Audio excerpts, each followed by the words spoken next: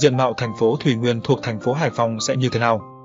Những năm gần đây, thành phố Hải Phòng nổi lên là địa phương được đầu tư nhiều về cơ sở hạ tầng, cầu đường, hạ tầng giao thông, cảng biển với hàng trăm nghìn tỷ đồng được giải ngân. Cùng với đó, việc Hải Phòng lập đề án xây dựng thành phố Thủy Nguyên, trực thuộc thành phố Hải Phòng, rất được dư luận, người dân quan tâm, hưởng ứng. Thành phố trong thành phố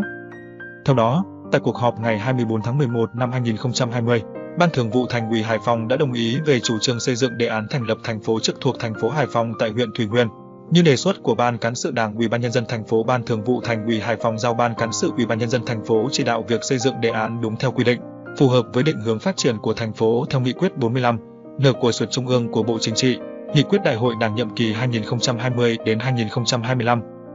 Đến ngày 30 tháng 12 năm 2021, Ủy ban nhân dân thành phố Hải Phòng đã có tờ trình về việc báo cáo thống nhất chủ trương xây dựng đề án thành lập thành phố trực thuộc thành phố Hải Phòng tại huyện Thủy Nguyên, gửi Bộ Nội vụ với các chỉ tiêu, hiện trạng của huyện Thủy Nguyên. Tờ trình cũng đã đánh giá tiêu chuẩn để thành lập thành phố tại huyện này, đồng thời nêu rõ những kiến nghị, đề xuất khi thành lập thành phố tại đây. Thành phố Hải Phòng mong muốn được Bộ Nội vụ thống nhất chủ trương và hướng dẫn về trình tự, thủ tục đến địa phương tiến hành các bước xây dựng đề án theo quy định. Ngày 8 tháng 1 năm 2021, Bộ Nội vụ đã có công văn 108 suyệt Bộ Nội vụ CQDB gửi Ủy ban nhân dân thành phố Hải Phòng. Trong đó, Bộ Nội vụ thống nhất với Ủy ban nhân dân thành phố Hải Phòng về chủ trương xây dựng đề án thành phố thuộc thành phố Hải Phòng trình các cấp có thẩm quyền xem xét, quyết định trên cơ sở nguyên trạng diện tích tự nhiên và dân số của huyện Thủy Nguyên. Bộ Nội vụ đề nghị Ủy ban nhân dân thành phố.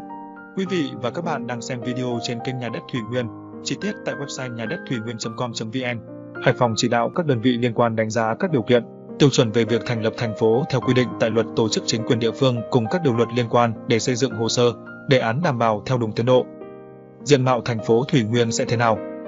Theo đại diện Sở Nội vụ thành phố Hải Phòng, toàn thành phố Hải Phòng có diện tích tự nhiên 1.562 km vuông, tổng dân số là 2.028 triệu người, trong đó số dân thành thị chiếm khoảng hơn 45%. Huyện Thủy Nguyên nằm phía bắc của thành phố Hải Phòng, có dân số và diện tích lớn nhất so với các quận, huyện của thành phố, với 35 xã, có 6 xã miền núi, hai thị trấn, diện tích tự nhiên gần 262 km vuông, dân số sấp xỉ 334.000 người, là địa phương có vị trí chiến lược quan trọng về kinh tế, chính trị, an ninh quốc phòng, giao thông, cửa ngõ ra biển Vịnh Bắc Bộ. Trong những năm qua, tốc độ phát triển kinh tế của huyện Thủy Nguyên luôn vượt mục tiêu, duy trì ở mức cao. Tỷ trọng giá trị sản xuất các ngành chuyển dịch nhanh theo hướng tăng tỷ trọng công chip xây dựng dịch vụ, thu hút đầu tư trên địa bàn tăng, nhiều dự án được xây dựng mới. Các doanh nghiệp cũng phát triển cả về số lượng lẫn quy mô, kết cấu hạ tầng giao thông được đầu tư hiện đại, đồng bộ. Cùng với đó, công tác quy hoạch phát triển đô thị cũng được huyện tập trung thực hiện. Tổng diện tích quy hoạch đô thị công nghiệp là 13.585 ha, chiếm 52% tổng diện tích tự nhiên của huyện. Trong đó, quy hoạch phát triển đô thị là 7.817 ha. Huyện cũng đang triển khai xây dựng khu đô thị Bắc Sông Cấm với diện tích 3.478 ha, khu đô thị Minh Đức, Núi Đèo và phần đô thị mở rộng Lưu Kiếm, Quảng Thành. Đại diện Sở Nội vụ Hải Phòng cho biết,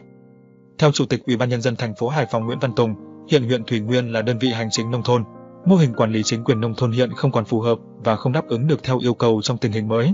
Do đó, việc thành lập chính quyền đô thị tại đây sẽ tạo điều kiện phát huy tốt hơn các tiềm năng, lợi thế sẵn có của địa phương. Việc thành lập đơn vị hành chính đô thị tại huyện Thủy Nguyên hoàn toàn phù hợp với các đơn vị hiện hành, xứng đáng với vị thế chính trị, kinh tế, văn hóa xã hội và phù hợp xu thế phát triển, có ý nghĩa đặc biệt quan trọng, tạo đà cho địa phương phát triển. Việc thành lập thành phố tại huyện Thủy Nguyên là yêu cầu khách quan và cấp thiết, ông Tùng nói.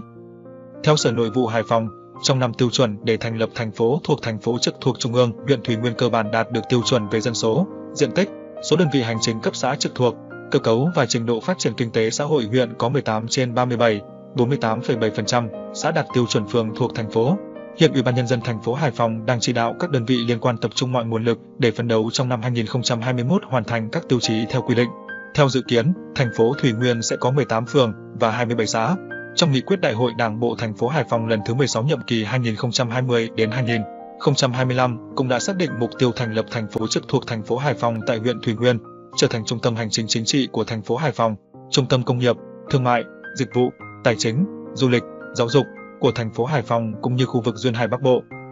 Ngày 30 tháng 3 năm 2021, Thường trực Thành ủy Hải Phòng có buổi làm việc với huyện ủy Thủy Nguyên trong đó tiếp tục chỉ đạo Hải Phòng sẽ tập trung ưu tiên triển khai các nhiệm vụ thành lập thành phố Thủy Nguyên trực thuộc thành phố Hải Phòng với mục tiêu đến năm 2022, đề án thành lập thành phố Thủy Nguyên phải hoàn thành để báo cáo chính phủ trình Quốc hội thông qua. Thành phố Thủy Nguyên được quy hoạch theo hướng văn minh, hiện đại, ngang tầm khu vực và quốc tế, trong đó lấy thị trấn núi đèo làm trung tâm. Trên đây là video diện mạo thành phố Thủy Nguyên sẽ thế nào.